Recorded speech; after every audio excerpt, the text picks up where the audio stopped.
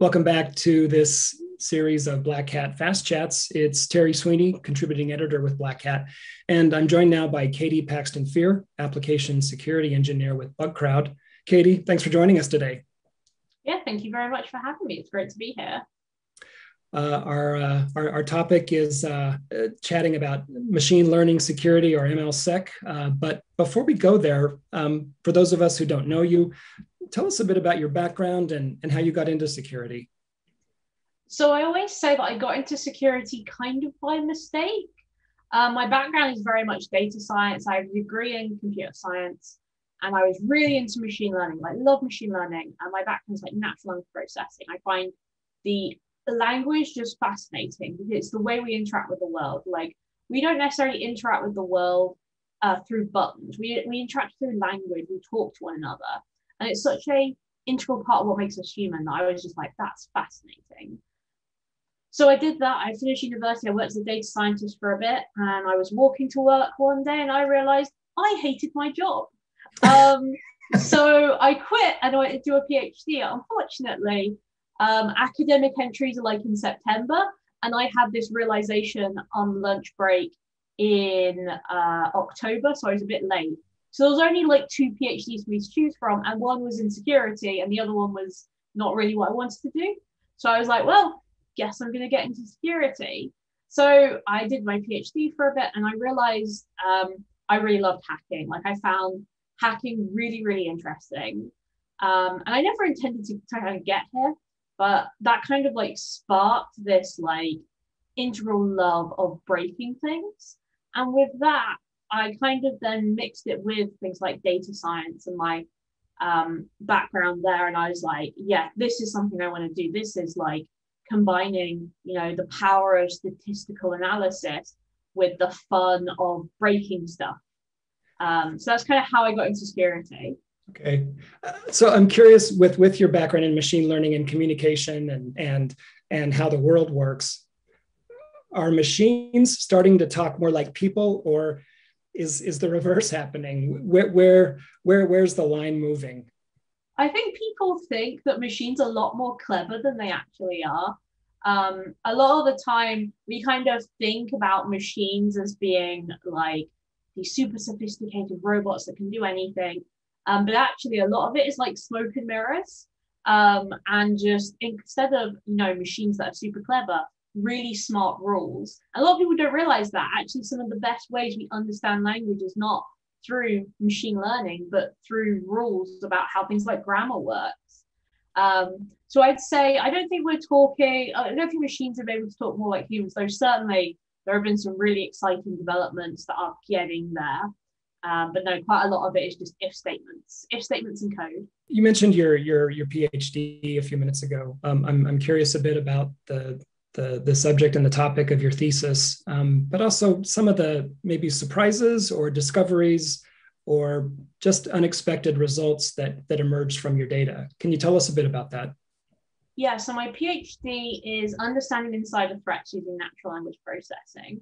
So traditionally, the way we kind of uh, not necessarily detect but manage the risk of insider threat is really through things like anomaly detection, looking at behavior.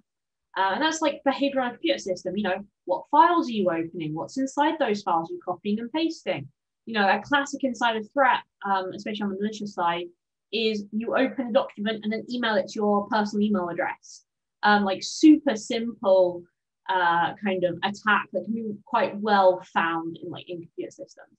But then when you look at something like unintentional insider threat, leaving a laptop somewhere and just forgetting about it, that's when you start to get, you know, that doesn't leave a technical signature. It gets a bit more tricky. And especially even with like malicious insider threat, there's a lot we don't understand about the behavioral side of things.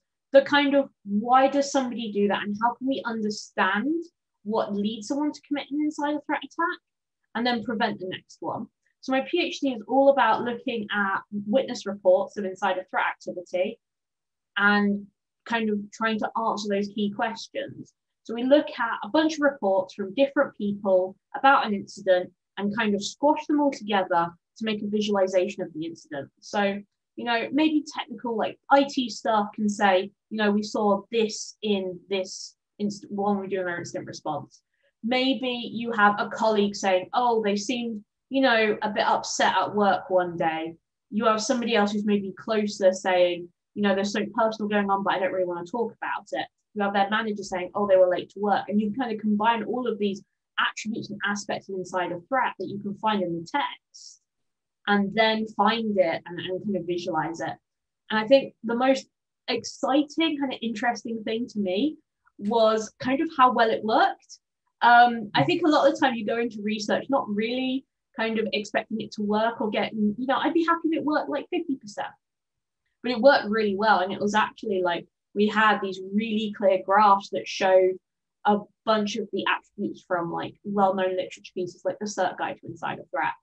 Um, so for me, yeah, that was just mind-blowing when it worked. My code worked machine learning i think it's fair to say is, is taking some baby steps in, in the security industry lots of vendors touting these capabilities if, if you can play this out a bit and, and we're going to test your predictive powers here if you look five years out or so what do you see with regard to machine learning and data science where security is concerned?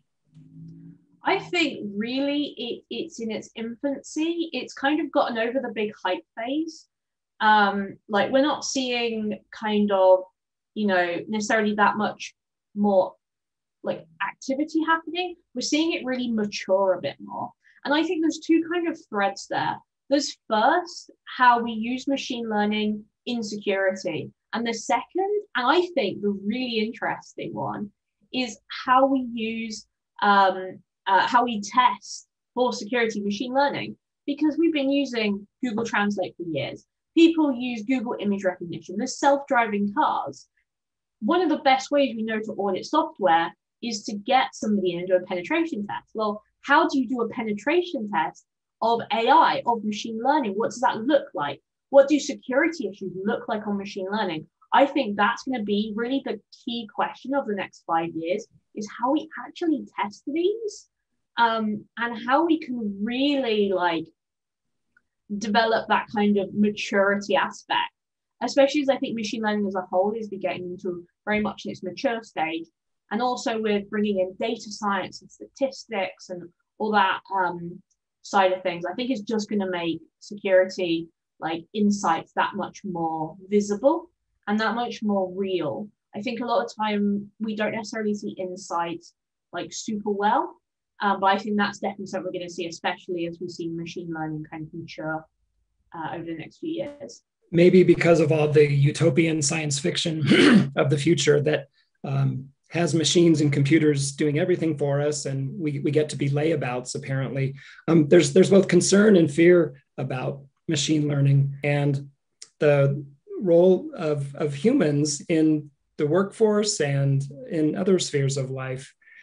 What do you see as the role of humans with uh, with machine learning growing at the pace it's growing? That's a really really good question, and I think it's a really difficult one to answer because I think people have you know concerns about you know losing their jobs, concerns that they don't necessarily have the ability to reskill into the workforce. I think especially with COVID, now we're seeing a lot more things like unemployment, and that's definitely a wider societal issue that really needs to be discussed at kind of a governmental level.